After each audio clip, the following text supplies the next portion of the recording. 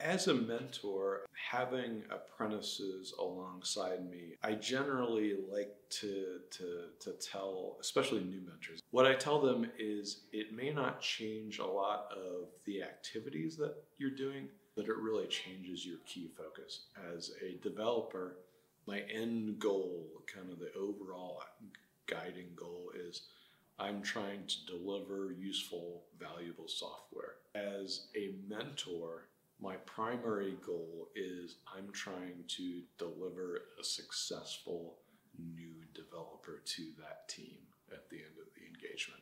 But in both cases, what I'm going to do looks very similar.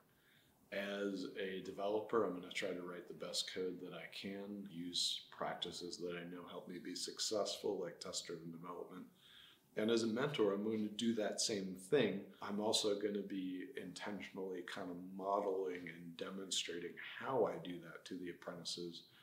Kind of um, not a, a, ton of teaching in the traditional sense, it's more kind of leading and demonstrating by example. The first time we do a feature, we might code it together as a group, so that'll be a little slower than than maybe I typically might spend building a feature because I'm building it two apprentices. And the next feature, I'm giving them a chance to do that. And they might go a little slower.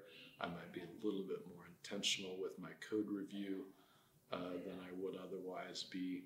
But in a lot of ways, it's a very similar process to the way I would do if I was just develop, a developer as part of a team. I would say it's about um, 80% the same 20% different if I had to, to put a number on it. As a mentor, I am mostly a, a developer as part of that team. I'm just in more of an explicit.